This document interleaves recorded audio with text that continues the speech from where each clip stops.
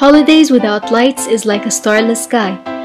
Today I'll show you how to make a holiday light mini cupcake. The things you will need will be a circle cutter which is a little bit bigger than your cupcake, a frosted mini cupcake, a rolling pin, an offset spatula, fondants with the colors green, red, black, gray, and white, a Wilton 233 grass tip, a toothpick, half a sipping straw, two mini silver sugar pearls, I dyed mine in black, vegetable shortening to avoid the fondant from sticking to the surface when spreading it out, a wet brush to help assemble the shaped fondants together.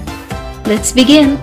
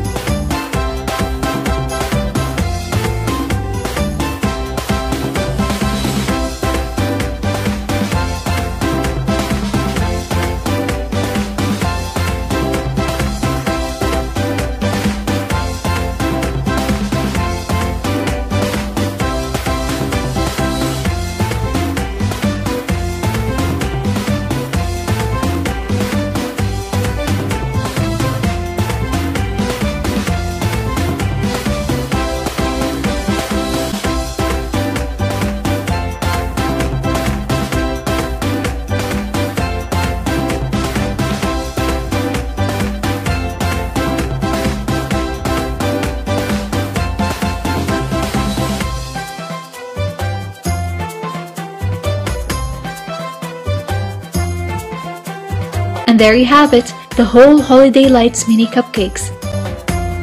Done! Thank you for liking and subscribing to Bunnyluscious. See you soon!